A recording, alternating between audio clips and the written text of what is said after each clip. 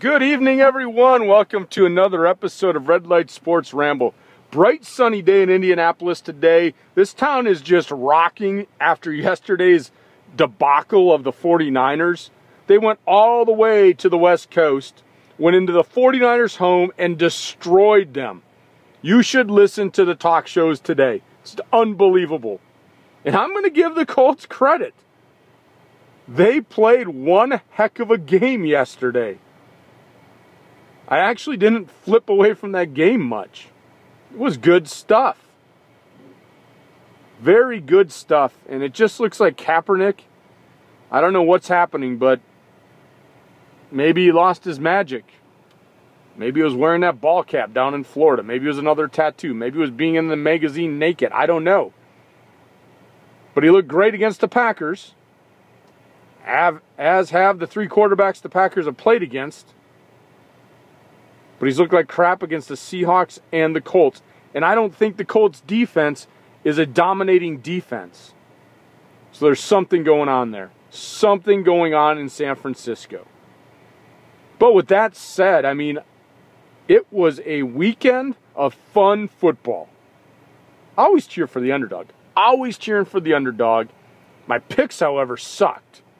Eight and seven going into tonight. It's like my worst week in a long time. I can't remember not having double digit wins. But I'm 8 and 7. Best I can do is 9 and 7. Hopefully the Broncos don't lay an egg. I don't think they will. But geez. But I have a special announcement tonight. Tomorrow night, I'm going to get away from sports. We talk about sports all the time. I will have a segment after. But I, I met this lady through a Twitter friend, Faces of Lung Cancer, and it's Molly Lundquist. And she has started a website that helps people donate to specific projects for cancer. And I'm going to have her on the Red Light Sports Ramble tomorrow night to talk about her website, to talk about the support for it. I went to the website. It is a great thing that she has started here. So hopefully you can all tune in tomorrow, listen to her story, listen to the website she set up, and listen to how we can help people because cancer is definitely something that we need to get research for. And we need to keep helping people. So tomorrow night, I'm I am proud to have Molly on the show. It'll be a, the Tuesday night Red Light Sports Ramble edition, talking about her website and how we can help future generations beat cancer even better than we're doing now. So I hope you can all join me tomorrow night. So, with that said, folks, let's talk about something after week three is nearly complete. With the Broncos playing tonight and being such a huge favorite, we can almost say they're going to be 3 0. That would mean that there's going to be six teams that are 3 0, six teams that are 0 3. What I want to talk about tonight is which of the 3 0 teams are going to crack and have a hard time or struggle to get into the playoffs? And then which of the 0 3 teams has some light and can struggle and work their way back into the playoff talk? Now it's tough. When you're 0 3, making the playoffs is nearly impossible. And next week, one of those teams that's 0 3 is going to be 0 4. That is because they're going to London to play. And Pittsburgh and Minnesota are going to London and one is coming across the sea 0 and 4. I would hate to be on that plane ride. But both teams are just playing terrible right now. And it's the quarterback play. It really is quarterback play on both of their parts. For those of you that read my Twitter last night, I actually left Pittsburgh at 1 in the morning to get back to work this morning. And so I got to listen to some of the Pittsburgh talk shows yesterday. And this is just the stupidest thing that I've heard. I heard people calling in yesterday blaming Todd Haley for the 0 3 start. They blamed Todd Haley yesterday. Roethlisberger threw for over 400 yards. Antonio Brown, who I benched because they weren't getting him the ball, had nearly 200 yards. The offense scored points. Ben turned the ball over four times. And on 93.7, The Fan in Pittsburgh, Paul Zeise even said this. At some point, your glamour boy quarterback, your million dollar arm, Ben Roethlisberger, has to take the blame. That's who gets blamed yesterday. Two fumbles, two interceptions. And they led to scores. And that defense could not get a stop to save their life. They're playing crappy. I don't see them doing anything this year. There's no way that 0 3 team, even if they win next week, is going to be in any playoff talk. Not with the Ravens and not with the Bengals in that division. No way.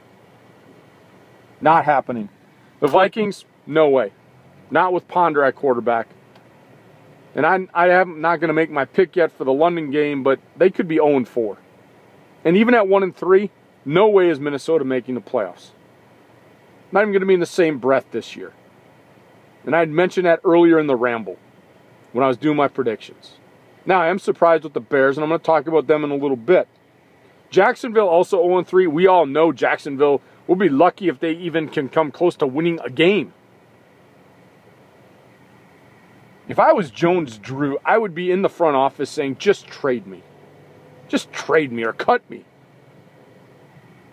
The guy's going to get pounded on. Got to be frustrating for a good running back like that. Tampa Bay, 0 3. I think their season is done. And not because I don't think they can win some games, but they got the Falcons and the Saints ahead of them. They're in the NFC with the Seahawks, the 49ers, the Packers, the Bears. Maybe, maybe, but I'm just thinking it's they're going to have to get a wild card, and it's going to be tough pickings to get a wild card, especially with the Bears starting 3 0. So I think, unfortunately, Buccaneer fans, I think your season is pretty much over for playoff talk. And I'm going to go back to this. Offensively, Josh Freeman is not your answer. Very evident in three games. Very evident. Washington and New York are the other teams that are 0 3. Now, here's where I'm going to go with this. They play in the NFC East, and yes, I know the Cowboys are 2 and 1. The Eagles are 1 and 2. Which means that there's an outside chance that either the Giants or the Redskins can turn this around and win that division. So, of the six teams that are 0 3, the only two that have a glimmer of hope are the Giants and the Redskins. Both of their defenses are terrible right now. But it's because the offense cannot sustain drives. If I'm going to give the edge to any team, it'll be the Giants. Because Eli has the weapons on the outside. He's got Nicks and Cruz. Has no running game, though. Offensive line is terrible but he's a veteran quarterback. He's won two Super Bowls. He's experienced enough to maybe take the reins, deflect some of that pressure, get him back into the NFC East chase. The Redskins, I think, are still looking for their identity. The Giants are just bad. They got a lot of holes, and they'll know the holes. They got the coaching staff, they got the veteran quarterback. Now, I'm not saying the Redskins don't have a good coach in Shanahan but they got a young quarterback who's hurt. And they can't pick up the blitz in the middle. And they don't have the same weapons on the outside that the Giants have. And defensively, I don't know what's going on there. Giving up a lot of points. So are the Giants, though. So there you have it, folks. Of all the teams that are 0 3 right now, the only two I think have a glimmer. I mean, and I'm talking a small glimmer of hope, are the Giants or the Redskins. Now, the teams that are 3 and 0. Five teams are 3 and 0. The Broncos are 2 and 0. I don't think the Broncos have anything to worry about. I don't think they're going to crack. The way the Saints are playing right now, I don't think they're going to crack either. I don't think Seattle's going to crack. And in the AFC, I don't think New England's going to crack and miss the playoffs. Now, that leaves two other teams in the AFC the Dolphins and the Chiefs. Neither are proven. And I had high hopes for both of them in my preseason predictions. And I said, I think they can make some noise. Tannehill is playing some good football right now. Not spectacular, but good enough to win. I'm impressed. I look at Kansas City and the same thing. Alex Smith is not turning the ball over. Now, I don't think that can last forever.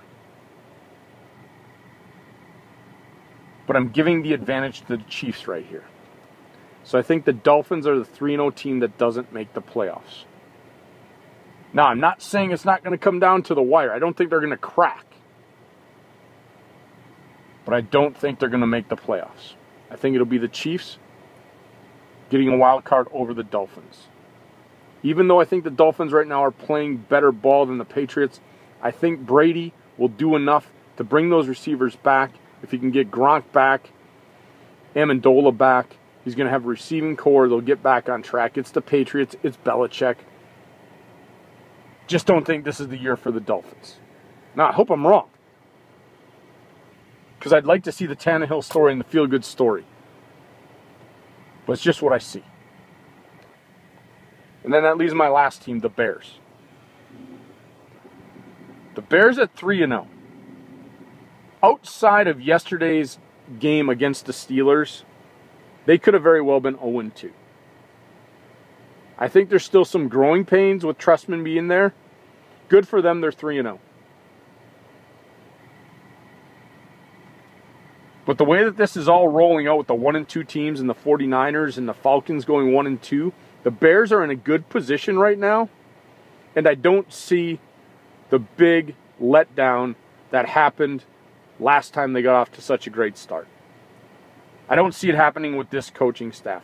What I see happening, though, is Jay Cutler being Jay Cutler when defenses are able to look at enough film of this offense and figure out how to get to the quarterback. Because he's still showing that he's going to make mistakes. I don't think you can judge against the Steelers because I'm not impressed with that defense. But let's see when he plays some more quality defenses what's going to happen. So I'm still going with the Packers in the NFC North. I mean, we'll talk about the Packer game on Thursday. This is not the time nor the place for it.